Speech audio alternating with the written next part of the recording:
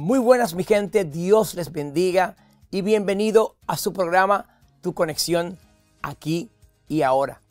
Con el pastor Jochi Parra en ausencia de la pastora Elaine Enríquez. Estaremos compartiendo hoy con el salmista Mauro Ospina desde Colombia. Él estará compartiendo con nosotros su vida, su testimonio, su ministerio y muchas cosas más. Bienvenido, Mauro. Muchas gracias por estar con nosotros. Amén, pastor. Muy bendecido, gracias a Dios. Aquí estamos en una, una mañana calurosa en Cali. Muy calurosa. Bueno, aquí también en Miami está muy calurosa. Qué bueno. Cuando tú escuchas este tema, tú estás conmigo. ¿Qué piensas? Bueno, es una, una bendición, es una, una canción eh, compuesta por mi hijo y es una declaración de gratitud para el Señor. Es, es una declaración donde donde nos concientizamos y le damos gracias a Dios porque Él está, ha estado y va a estar en cada una de las situaciones de nuestra vida, tanto en, los momentos eh, buenos, también en los momentos difíciles. Yo sé que en momentos como lo que estamos viviendo, ¿verdad? Eh, esos temas se hacen muy propios, pero estuve escuchando un, un pedacito y me agrada cómo tu hijo combina el Salmo 23 con lo que estamos viviendo y lo hace magistralmente. Cuando llega el momento que él decide regalártela o él compuso esa canción intencionalmente para que usted la cantara? Bueno, eh, él, es el arreglista, el productor de, mi producción y él compuso esta canción pensando en, que yo la grabara. Es quien, quien compone, quien arregla las canciones, interpreta gran parte de los instrumentos, hace coro. Es un, en un alto porcentaje un pilar fundamental en este, en este proyecto. usted podría decir de tal palo tal astilla, ¿no? Sí, de, tal palo tal astilla, pero una astilla mejorada. Wow. Sí, sí, es muy bueno. Me imagino, ¿no? Que usted, que, que le agarró mucho de usted. ¿Qué, qué lo motiva a usted, eh, Mauro, a escribir? Porque yo sé también que usted es compositor. Así es, pastor. Pues me motiva eh, la palabra de Dios, me motiva la cotidianidad, experiencias propias o también experiencias de otras personas que, que me comparten. De hecho, en este momento estoy, estoy escribiendo una canción de un, una persona que, que llevaba una doble vida, si se le puede llamar de esa forma. Era, era cristiano los domingos, era dominguero, pero de lunes a viernes eh, estaba eh, sumergido en el, en el, alcohol, en la drogadicción. Entonces, él mismo eh, sufrió, sufrió un accidente y me dijo, me contó su historia, me dijo que le gustaría que, hiciera una canción con su testimonio para, para motivar a otros a, vivir en integralidad delante de Dios. Qué bueno, qué bueno. Y son vivencias que nos impactan también a nosotros y nos hacen reflexionar en muchas cosas. ¿Piensas incursionar en algún tipo otro género? Eh, yo sé que eres muy bueno como baladí, como pop cristiano. También viste ese tema de que te compuso tu hijo es un poquito más, eh, no sé cómo llamarle, pero me encantó mucho el, arreglo que hicieron. Pero tú piensas incursionar como en el reggaetón eh, o el rap cristiano que está muy de moda. Bueno, yo no, yo no tengo el flow. de hecho, de hecho, en la canción Tú estás conmigo hay una parte que tiene rap e invitamos un, un amigo, un hermano de la iglesia para que, para que hiciera esa parte entonces yo, yo no, me, no me limito en cuanto a los ritmos o géneros con los cuales podemos alabar al Señor, pero sí también eh, buscaremos la forma de que, de que sea el género en el que incursionemos, sea un género que se adapte a, nuestro estilo, a nuestra voz. Dicen mis notas aquí que tú has estado en otras agrupaciones musicales. ¿Es cierto? ¿Y algún tipo de, de temas que has interpretado en otra agrupación? Bueno, yo inicié sirviéndole al Señor hace cerca de 22 años en un ministerio interdenominacional de alabanza llamado Tierra Nueva. Allí estuvimos como un año más o menos. Al año me retiré. Pasado un tiempo fundé un, ministerio de la misma, eh, con la misma naturaleza interdenominacional. Íbamos donde Dios nos, nos necesitara, llamado eh, Ministerio Hijos de Luz. Y hemos estado sirviendo durante todos estos años en, en diferentes congregaciones eh, la última en la que me congrego actualmente, en la cual sirvo hace 13 años, es la misión carismática al mundo. Y esta es nuestra primera experiencia eh, grabando con estas tres primeras canciones. si supieras de dónde nace eh, o la interpretas con, o la escribes tú para ese grupo en particular. Esta es una canción que me inspiré en un tratado que se llamaba Carta de Amor de Jesús, en donde expresaba, eh, te regalé una, una mañana hermosa, te di la naturaleza, te di la, la salud, las fuerzas, tu familia, pero tú no te acuerdas de mí, quiero hablarte, pero no me escuchas o no tienes tiempo para mí. Entonces, basándome en ese, en ese tratado, escribí esa canción y por mucho tiempo pensé que era una canción para, para personas nuevas o personas que no conocieran del Señor. Pero conforme ha pasado el tiempo me di cuenta que la canción primeramente era para mí, que era para ministrar mi vida, una canción con la cual Dios quiere hablarme cada día acerca de, la importancia de tener una relación con Él. Y, no solo para mí, sino para todo aquel que, que se considere cristiano. Qué bueno, gloria a Dios. Qué bueno que cada canción sea parte de una vivencia, no solamente nuestra, pero quizás de alguna persona alrededor de nosotros, que podamos plasmar, podamos plasmar esa, perdón, eh, y que quede escrito. Eh, vas a seguir componiendo, ¿verdad? Eh, le cuento que, la fuente no, no ha cesado. En, este tiempo Dios me ha venido inspirando nuevas canciones y yo creo que vamos a seguir haciéndolo. En, en cuanto me quede voz en mi garganta y aliento de vida en mi ser, yo creo que seguiremos alabando y seguiremos escribiendo canciones que, que motiven a, para alabar a Dios o que motiven eh, a la conciencia de las personas para tratar de provocar un cambio, una transformación.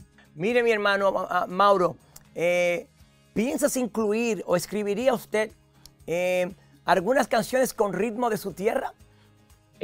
Por supuesto, de, hecho, esta canción, Tú estás conmigo, es un, es un ritmo muy caribe, es un ritmo en tropipop, que también es llamado, conocido como el, el pop colombiano. Es como una fusión entre pop y vallenato. Es, es algo muy colombiano. También en, Aquí en Cali, pues es la, es la conocida mundialmente como la capital de la salsa. Entonces, una de mis canciones llamada No temas es en, en, ritmo de bolero, pero termina en salsa. Cuando compones, yo sé que la, que la composición, como todos los, los regalos, como todo lo que Dios creó, en verdad, eh, ¿cuál es el tema? Eh, un tema muy particular que te gustaría llevar en que fuera por todo el mundo, que sea un tema, un sentir suyo. Bueno, yo le estoy pidiendo a Dios que me inspire una adoración del cielo, que me, que me permita bajar una adoración del cielo para, para llevar a su pueblo a adorarle, para llevar a su pueblo a, la presencia de Él. Amén, amén. Y, que esa adoración suba con olor fragante hasta el trono de la gracia, ¿verdad? Así es, así es, pastor. Esa es, la idea. La, eh, como, como dice la, palabra de Dios eh, en, el libro de Corintios, si tengo amor, eh, perdón, si de nada me sirve hacer las cosas si no tengo amor. Y realmente la palabra de Dios dice que el amor es Dios, que el amor es Jesús. Entonces, de nada, de nada nos sirve elevar canciones, de nada nos sirve eh, ser activistas, tener muchas actividades para Dios pero si su presencia no está con nosotros, entonces no, no estamos haciendo nada. Si su presencia no va con nosotros, ¿para dónde vamos? el tema no temas. Perdón, el tema no temas. Háblame un poquito de eso. Bueno, cuando yo cuando inició la cuarentena aquí en Colombia, eh, acerca de a través de la pandemia que estamos viviendo a nivel mundial, pude experimentar el temor de las personas y no solo los inconversos, sino también muchas personas cristianas eh, muy atemorizadas con la incertidumbre de lo que pudiera pasar. Eh, y dicen los estudiosos de la Biblia que, que, la palabra de Dios dice 365 veces, no temas. Y no, no es coincidencia que el año tenga 365 días. Dios sabía que cada día quizás íbamos a tener un motivo para tener temor. Por eso nos plasmó en su palabra esa declaración, no temas para cada día del año. Entonces Dios me inspiró para que escribiera esta canción. Primero es una radiografía de lo que estamos viviendo, pero de ahí en adelante es una declaración de fe y de confianza basada en la palabra de Dios. Y así fue como surgió la canción No temas. Qué bueno. Eh, a mí en lo particular me agrada mucho cuando los compositores que se llaman cristianos combinan su, lo que Dios le da con la palabra de Dios, que es lo que ya está escrito, que es nuestro manual por excelencia. Y tú y tu hijo hacen un trabajo magistral. Por eso quiero felicitarlo en esta ocasión. Marcelo, nos gustaría que compartieras tus contactos, tu información dónde podemos encontrarte, tus redes sociales, dónde podemos encontrar tus producciones musicales o tu, eh, o tu canal de YouTube, etcétera, etcétera. Por favor, para que nuestra audiencia pueda saber dónde contactarte. Eh, gracias, Pastor. Eh, bueno, encuentran mis canciones en las principales plataformas digitales como Spotify, como YouTube Music, como Amazon Music. Y mis redes sociales, eh, estoy en YouTube, Facebook e Instagram como Mauro Ospino Oficial. A mí particularmente me gustó mucho eh, los tonos, los, eh, los tonos suyos, la, armonía de su voz. Y quiero aprovechar que nos quedan unos minutos para que usted nos deleite con, con esa canción nueva. Si, si quiere, puede tararearla y usted canta muy, muy, muy hermoso muy, muy, muy hermoso y me gustaría que nuestra audiencia supiera de lo que yo le estoy hablando. A ver, la canción dice así. Al despertar cada mañana puedo ver la luz del sol que se resbala en mi ventana y yo me acuerdo de tu amor. Por la noche cuando miro las estrellas puedo sentir el abrazo de tu incomparable amor. Puedo ver que nunca me has dejado, siempre me has acompañado en cada paso de mi vida. Yo sé que tú conmigo estás, que nunca me dejarás, tu mano me sostendrá. Yo sé que tú estás conmigo, yo sé que tú conmigo estás, que nunca me dejarás, tu mano me sostendrá, yo sé que tú estás conmigo. Cantas demasiado bien, qué bueno lo haces y yo sé que lo haces con el corazón. Tienes un tono de voz, unos colores muy hermosos en tu voz. Oye, ¿qué significa Cristo para ti? Bueno, primero, gloria a Dios por los talentos que Él nos ha dado. ¿Y qué significa Cristo? Él es todo para mí. Él es quien me rescató, quien me dio una nueva vida, un propósito de vida, quien le dio sentido a mis días. Entonces es, es mi razón de vivir. De verdad que no has dejado, eh, eh, me has dejado a mí muy impactado, ¿verdad? Porque eh, eres un hombre de fe, eres un hombre soñador y por eso siempre tienes proyectos y Dios te va a seguir ayudando. Siempre y cuando mantengas esa, ese principio bíblico tan importante que todo lo que hacemos, todo lo que hagamos, todo lo que vayamos a hacer, lo hagamos simple y llanamente para Él. ¿Qué te parece? Recibe eso de parte del Señor. Y antes de dejarte, quiero que por favor le des un mensaje a toda aquella juventud, adolescentes, a todas las personas que te van a ver en esta entrevista que me le des un mensaje que me le impregne de eso tan hermoso que Dios ha sembrado en usted, varón. Las cámaras son suyas. Gracias por la oportunidad, pastor. Bueno, hablo, habla a los jóvenes de edad o de espíritu, porque yo, yo soy al igual que, que Caleb. Caleb dice la palabra de Dios que tenía 40 años cuando recibió la promesa y tenía 85 cuando conquistó y la recibió esa promesa de Dios para su vida. Eh, yo recibí la promesa cuando tenía más o menos 26 años. Actualmente tengo casi 47.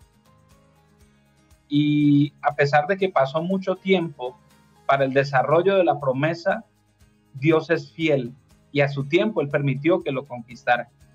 Y Dios a ti que me escuchas y ha puesto sueños, ha puesto eh, dones, talentos y, y te ha hablado y te ha dicho que va a hacer algo a través tuyo. Ten la convicción de que Dios lo va a hacer. Ten la convicción de que aquel que prometió es fiel para cumplirlo, que no es hombre para mentir ni hijo de hombre para arrepentirse. Y a su tiempo Él lo va a cumplir. hay algo bien, bien especial. Gedeón, eh, Dios lo llamó y Gedeón alistó para, para traer liberación al pueblo de Israel sobre los madianitas. Alistó 32 mil hombres, pero Dios trajo la liberación con solo 300. Te corresponde a ti y a mí eh, prepararnos con lo necesario, pero Dios hará lo extraordinario.